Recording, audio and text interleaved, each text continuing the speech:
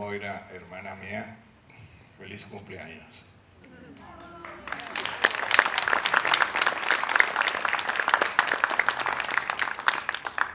A finales del, de, los, de la década del 40, después de esa horrorosa guerra que había dejado secuelas en todo el mundo, eh, yo era un pequeño violinista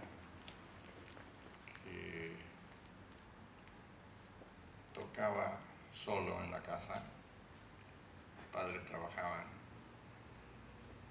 y de pronto en la década de los 50 me vi felizmente acompañado por dos preciosas niñas, mi hermana Moira, la mayor, y mi hermana Alma, la menor. Eh, vivimos muchas peripecias, muchos sinsabores,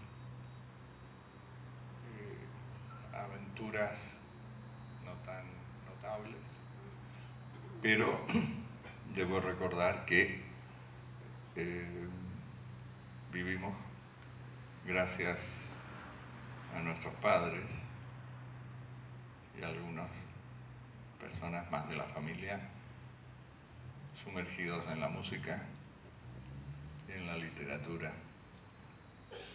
en las bellas artes. Eso creo que nos hizo zafarnos un poco de, algunas cosas que a nadie interesan.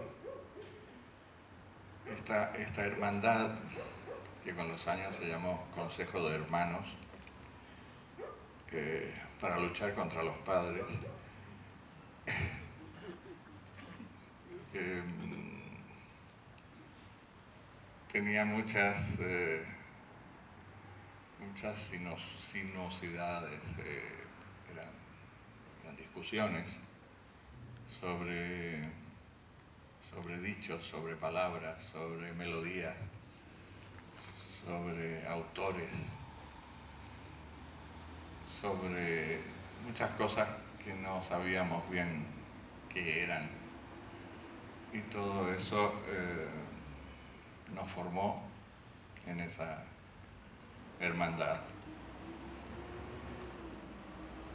Así creo yo que nació ese fervor de Moira por la, por la escritura.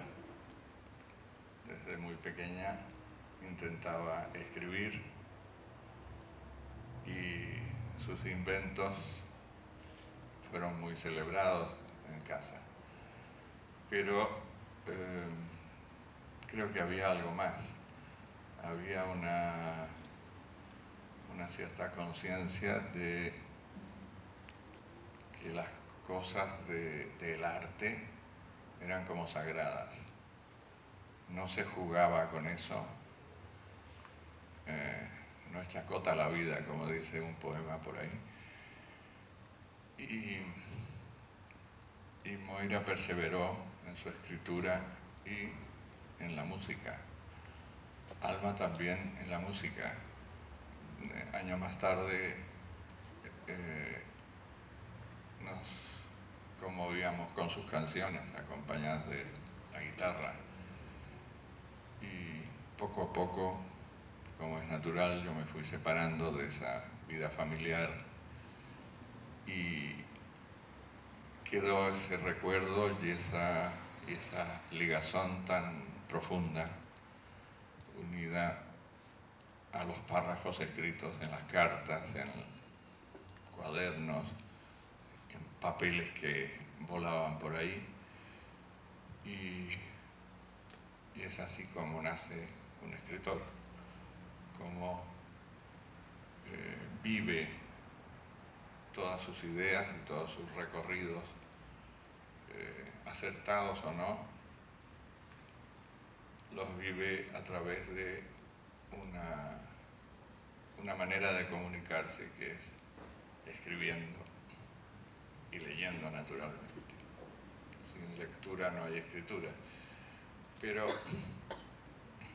a mí me sorprendió con los años y me sorprendió ya ahora que soy mayor cantidad de libros que escribió, que ha escrito Moira. ¿Cuándo? me pregunté. ¿Cuándo? ¿En qué momento? ¿Cómo pasó eso?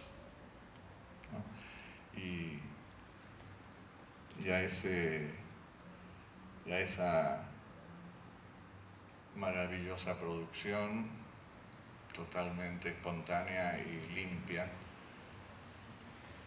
eh, vengo a vengo a, proclamarla en este momento como uno de mis mejores recuerdos en la vida. Y recuerdo que hemos participado un grupo familiar lleno de diferencias y,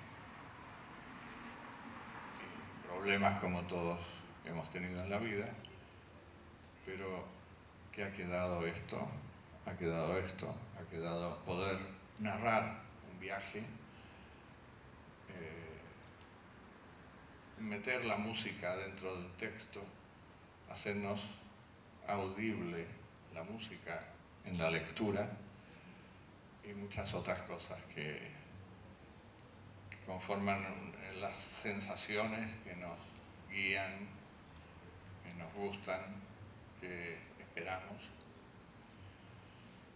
y que forman parte, creo yo, de lo más preciado que uno guarda. Querida Moira, felicitaciones, tu hermano.